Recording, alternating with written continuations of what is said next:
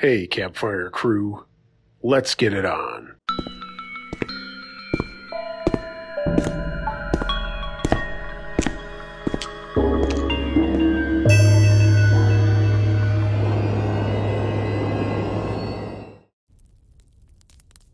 Home Alone Break In by Are We Human Enough? This happened six years ago when I was 20. I came home after sleeping at my boyfriend's place. It was like 8 in the morning. Early because my boyfriend had started his shift and my parents were already gone like an hour earlier to their holidays. So I was alone at home. And I knew it. I got home and I directly went to my bedroom to continue my night.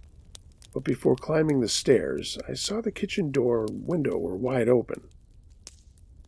I was surprised, but I didn't think that I was in any danger inside of my own house.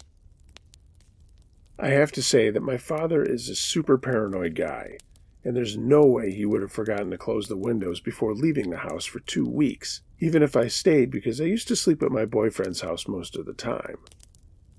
But I was barely awake, so I just closed the door. I checked the kitchen and the living room just to be sure, and then went up to my room. I lived on the second floor, and there were three rooms up there. As I was changing, I went to the bathroom and got back to my room and closed the door to my room. And I don't know why, because I normally never did. After scrolling on my phone for another five minutes, I heard a footstep right behind my door. Someone had been out there while I was doing my thing, completely vulnerable. I was terrified. My heart stopped and I couldn't move. I just took the first thing in front of me to defend myself my BaByliss. I stared at my door, waiting for the person to open up and kill me or worse. I was ready to jump out of the window and die if I had seen that door open. But minutes passed, and I finally heard the person on the stairs. I don't know how many minutes I stayed there, immobile. But eventually I called my boyfriend and he came to get me. At first I thought I was crazy because I didn't see anything, and I couldn't believe that it really happened. But my boyfriend confirmed that whoever it was forced the door and windows on the kitchen, so someone really was there. They really were silently waiting for me to sleep to get out of the house. What was creepy for me was that I felt safe while I was home, but I clearly was not. It was a little traumatic. Since then, I have a hard time staying alone anywhere without freaking out a little bit. I live on my own, and I'm constantly afraid that someone is trying to break in. But the worst part of that day, when they broke into my parents' house, they didn't take anything. They didn't take my mom's MacBook or jewelry, my PS4, my dad's gaming setup. I mean, everything there was so easy to take, but they didn't take a thing. I can't stop thinking that they were there for another reason. At that time, I was also very active on Snapchat, and I used to post every day. I used to tell and put my story on every part of the day, so to the 5,000 of unknown followers that I had on social media, they knew so much more about me at that time. And I think that was maybe related to whoever was in the house. Since then, I've stopped my activities on Snapchat. So, what do you guys think? Is that related? Or did I just interrupt a run of the mill break in?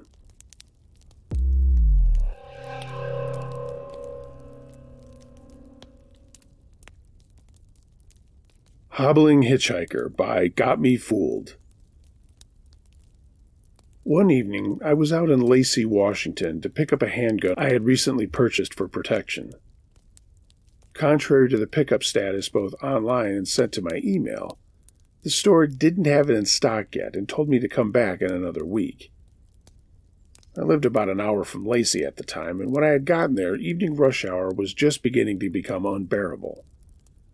I didn't want to drive all the way back home just yet, as it would add an additional hour to my already long commute. Side note the car I was driving belonged to my dad, and I was borrowing it until I had had enough money saved up for a new car after my beloved Honda had broken down the previous year.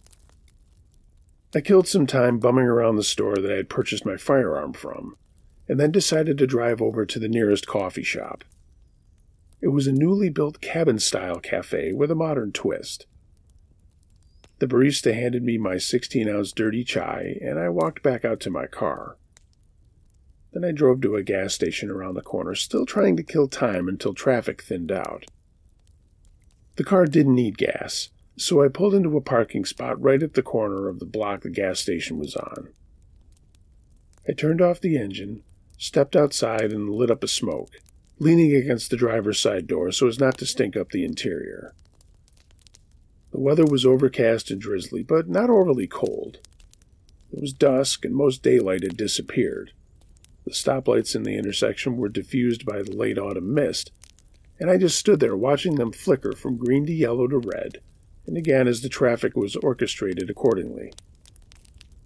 Zoned out by the lights and being generally lost in thought while enjoying my coffee and smoke, I didn't notice the man walking toward me until he was already halfway across the street. He was white, average height, and strawberry blonde, maybe in his mid twenties. He definitely hadn't changed his clothes in a good while and carried a backpack I assumed to be full of the few belongings that he had. He didn't smell, but he looked raggedy and unkempt, and my immediate thought was that drugs were likely part of his lifestyle. I didn't want to jump to conclusions, but I'm always cautious having grown up in the suburbs of Seattle. The man finished crossing the street, awkwardly limped toward my car, and maintained eye contact with me and winced a grin. I locked my car out of caution, but remained outside smoking casually. Normally, I'm not a social person, but I don't go out of my way to be unpleasant either. He approached me and stood about ten feet away when he said, Hello, and asked if I had a light. I complied hesitantly, but saw no harm in meeting his simple request. Taking two steps forward, I lit his cigarette which he was holding out towards me while approaching. He attempted to make small talk, weaving in hints that he had just gotten off the bus and still needed to get down the road another block. Somewhere in his poorly crafted sob story, he stopped himself mid sentence like a bad actor and pretended to be struck by an epiphany. Hey, would you mind just dropping me off down the road? It's not very far. I apologized and said I couldn't help because it was my dad's car not my own, and I didn't feel comfortable without my dad's permission. It was a stupid yet plausible excuse I came up with on the spot.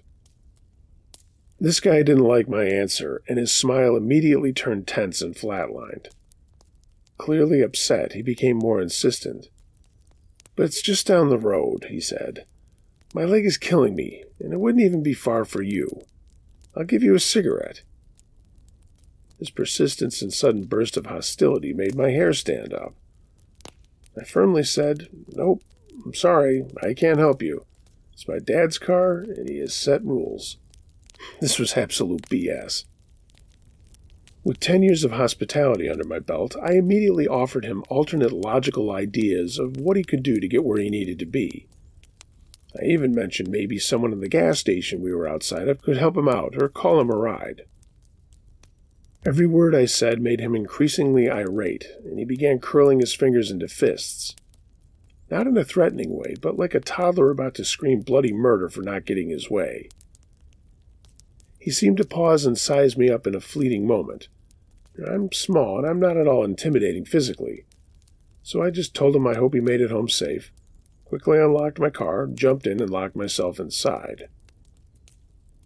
While I was looking up from locking the car door, I saw him speed walking back across the street from the direction he originally came from. No limp, no awkward walk whatsoever. No distress or pain showing even slightly. Just a normal speed walk of a physically well person. I knew I had dodged a bullet, and I felt pretty dumb for hanging around the city after dark alone. At that point, I didn't care about traffic anymore, so I turned over my engine and hightailed it home, in what ended up being another hour and 45 minute drive. But this time, the traffic was 100% worth the inconvenience. So, this is a PSA if you haven't heard enough already. Be careful who you give your attention to, especially when you're alone. Always stay aware and err on the side of caution, even when strangers seem harmless at first. Crazy bad acting hitchhiker guy? I hope you got the help you needed rather than the help you wanted. And I hope we never meet again.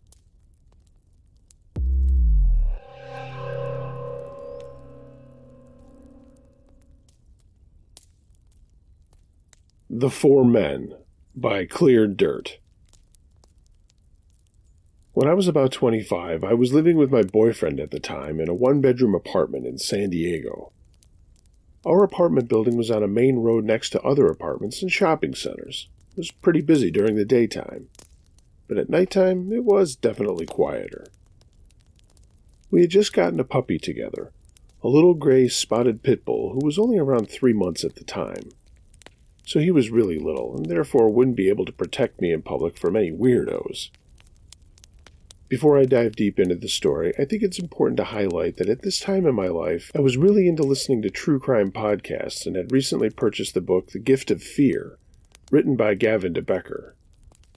I was only a few chapters into this book at the time, but basically, it highlighted the fact that our bodies will send us a flight or fight response signal way before we are even aware of dangerous or sketchy situations about to happen.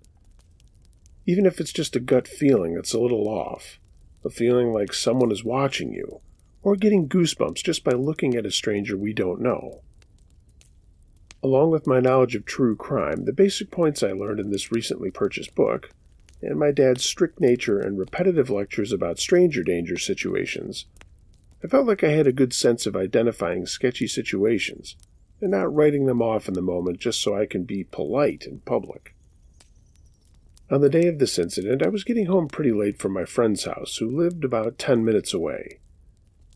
I had just brought the puppy over to her house for a little while to play and hang out, and I didn't end up getting back home with the puppy until about 10:30, so pretty late for a weekday.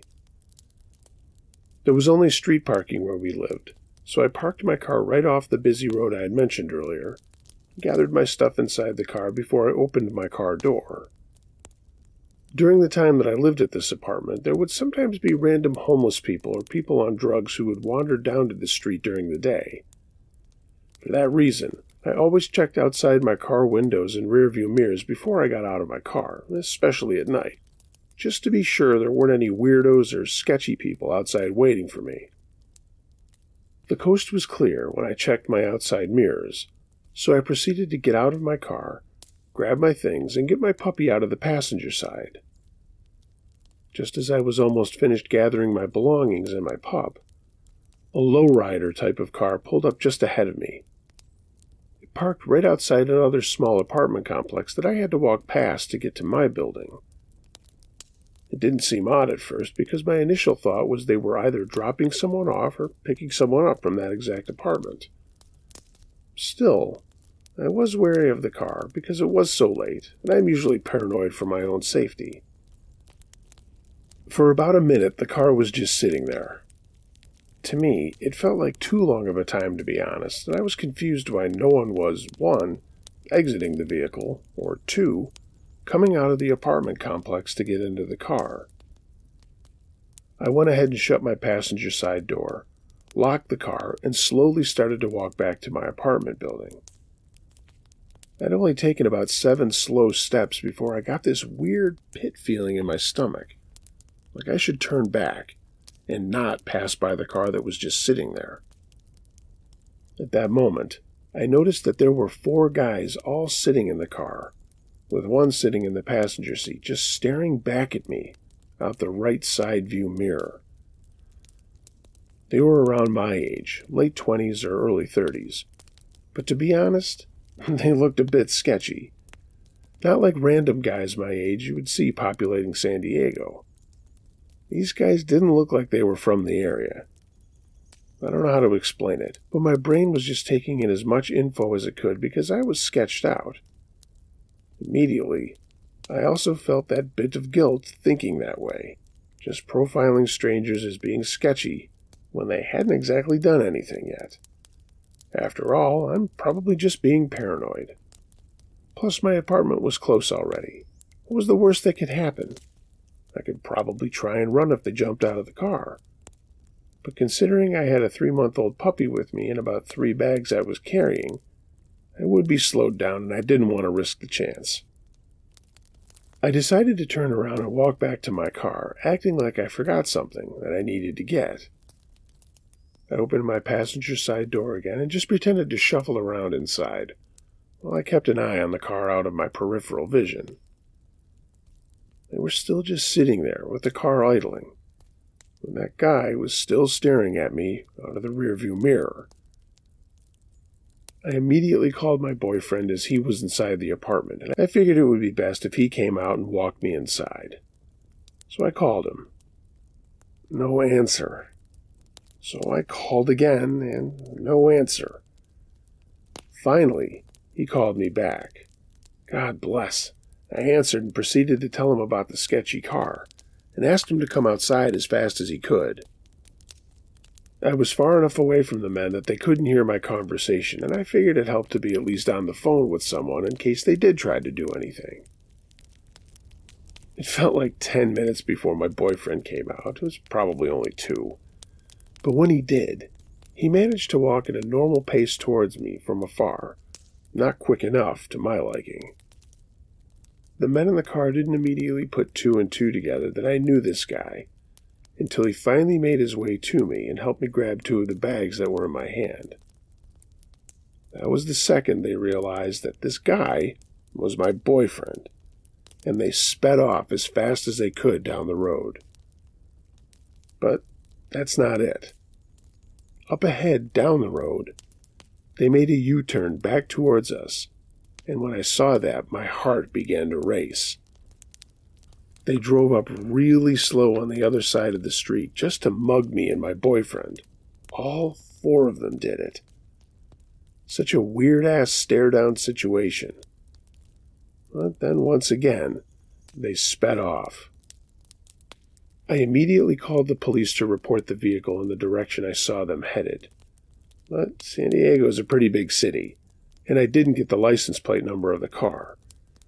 There wasn't much else I could do, and I never found out if they were pursued or not. Needless to say, I've since analyzed this incident and kind of believe that they were either trying to steal my puppy or steal me. I know a lot of people try to steal pit bull puppies for illegal dogfighting in the area, so that could have been it. Or it could have been more sinister. They could have been trying to kidnap me for whatever reason including something like sex trafficking, as that is super common in the Southern California area. There have been a lot of recent PSAs about sex trafficking becoming more popular around this time, and regardless, I wouldn't have been able to take on four grown men, even if I did have a can of pepper spray on me. Whatever the reason, I'm happy I escaped a potentially dangerous situation. And I'm also very thankful that I happened to just have started reading that book telling me to trust my gut. Otherwise, I'm not sure if I would have trusted my gut reaction telling me to turn back to my car. Always trust your gut, people. Don't ever feel bad for being rude to protect your safety, and don't write yourself off as being paranoid. It's better to be safe than sorry. Also, get a dog to protect you if you can, laughing my ass off. I don't have my dog anymore because I'm no longer with my boyfriend from that time. But when my puppy grew up, I felt way more safe walking around the neighborhood. He was such a love bug when he met people, unless the person was clearly a weirdo. But if I was walking around at night, he had his guard up, and he would definitely protect me if prompted to. So, to the four men in the car I came across that day, let's never meet again.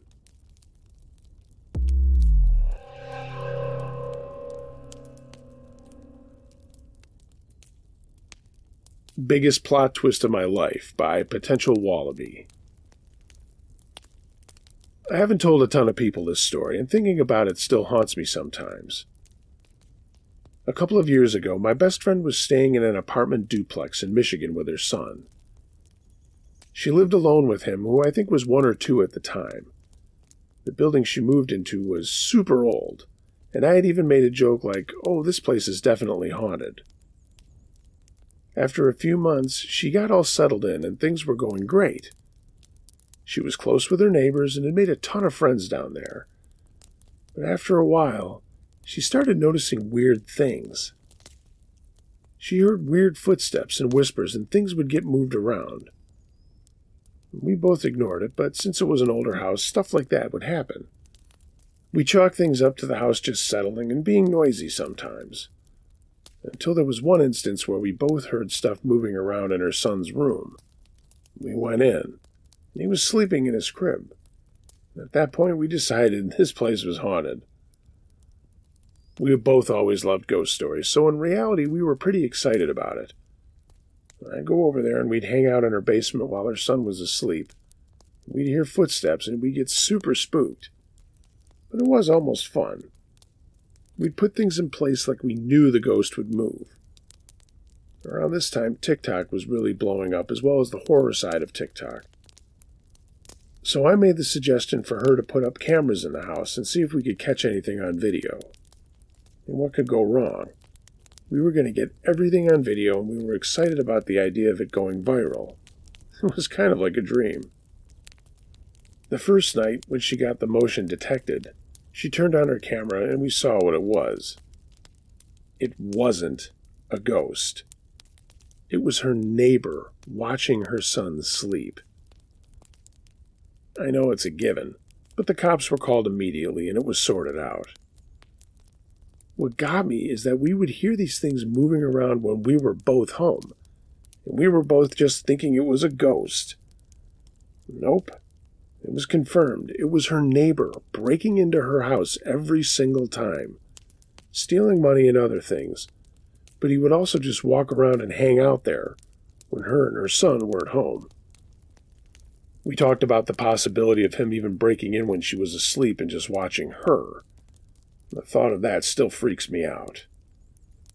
Needless to say, she moved out shortly after that and moved far away from that place, where she and her family are safe.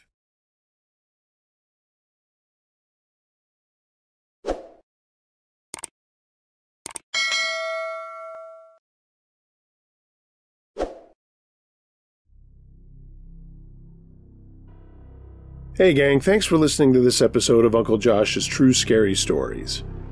If you have a true scary story of any nature that you'd like to hear narrated on my channel or podcast, email it to Uncle Josh True Scary Stories at gmail.com. I read them all. If you haven't already, please like, share, and subscribe to this channel.